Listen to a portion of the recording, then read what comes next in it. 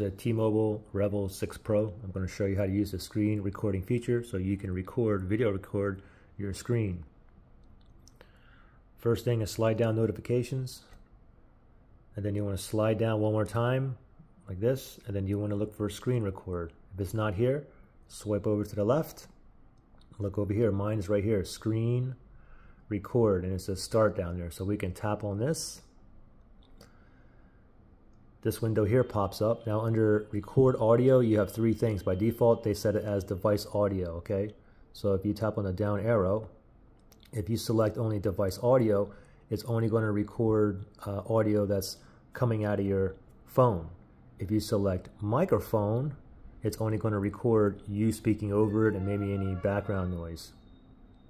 The last one is device audio and microphone. If you have that selected, it will record all the audio coming out of your phone and you speaking over it as well. So for this example, we're going to leave it on device audio microphone and then down here, show touches on screen. I like to have that on. That just basically shows you where you're tapping on the screen if you want people to see that or not while you're recording. So we'll leave it like this. I'm going to tap on start. And then it just vibrated. And now I'm, I know that we're recording. So recording here we are live and for instance let me go to my play a YouTube my YouTube video. Testing one two. Testing one two so record both sides here. And then you can see when I'm tapping you can see that little where I'm tapping there. And let me go ahead and stop this here and now to stop the recording, just go ahead and slide down. And then you should see it should say stop right here. So let's stop right there. Okay, and now every time you uh, stop it, it gets saved automatically into your Photos app. So if I go to my Photos app here, and then I'm going to go to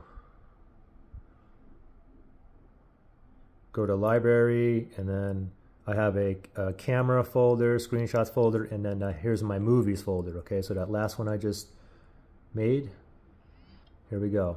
Here's the example.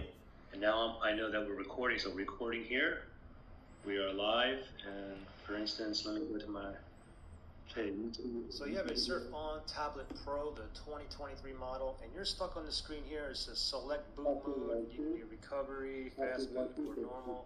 So you can hear both sides? Then you can see when I'm tapping, you can see that little,